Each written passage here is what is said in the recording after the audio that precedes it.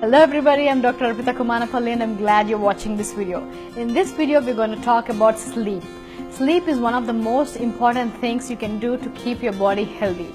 Impaired sleep can aggravate health problems and interfere with body's natural ability to heal itself. Research tells us that average night sleep during early 1900s was 9 hours. By 1975, it dropped down to 7.5 hours. By 2002, it fell down to 6.9 hours. Today, most people average just 5 to 6 hours sleep per night. Research also tells us that cutting down sleep from 8 hours to 4 hours per night, even to a period of less than a week, can produce changes in your body that will mimic advanced aging and early diabetes. Sleep and neuroendocrine systems are interconnected. Chronic loss of sleep can cause diabetes, hypertension, obesity, and memory loss. Lack of sleep also affects the secretion of thyroid hormones and it can increase the secretion of your stress hormones like cortisol. Getting sufficient quality sleep is one of the most important things you can do to improve your health. Sleep allows your body to rest after a long day, balance hormones, and also helps to control stress. Some of the other benefits of sleep are improved memory, better focus and concentration, a long life, and maintaining a healthy weight. Here are 5 ways to improve the quality of your sleep. Number 1. Set a routine. Try to go to bed at the same time every night and try to wake up in the morning at the same time in the morning.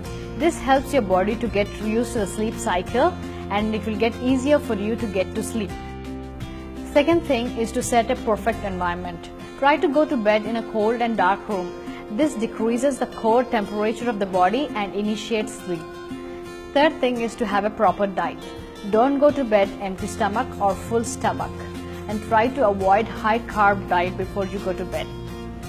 Fourth one is to avoid electronics before you go to bed.